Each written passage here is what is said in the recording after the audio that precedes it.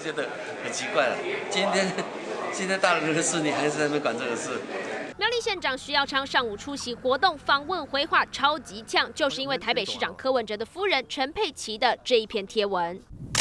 陈佩琪写道，自己和先生常常去苗栗，还会夜宿泰安温泉，别有一番风情。希望大家有空多前往造访。还接着说，印象中希腊没有天然资源，也多是靠观光赚外汇，苗栗应该也可以。陈佩琪扯到观光，柯文哲也屡屡提到苗栗破产，夫妻俩惹怒徐耀昌。柯文哲原定三月底要到苗栗与县府交流，也破局。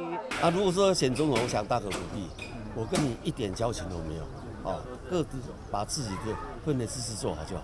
我们如果要去，你不要不要就算了，就这样。遭徐耀昌一口回绝，柯批冷回应，但夫人陈佩琪却罕见删文，还发文道歉，没有要冒犯县长越权干涉苗栗政务的意思。呃，不要去就算了，那反正太太来演演场，我讲话听不见，他一直在演戏了。徐耀昌对陈佩琪的道歉可说是一点也不领情。记者彭志明、陈思远、刘若珍苗栗采访报道。